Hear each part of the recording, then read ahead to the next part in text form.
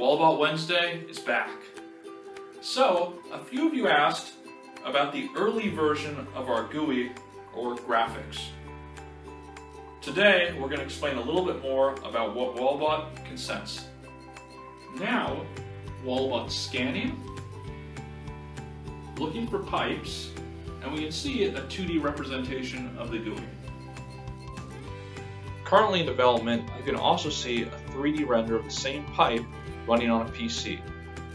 The area in brown represents the drywall, and depth is indicated on the left.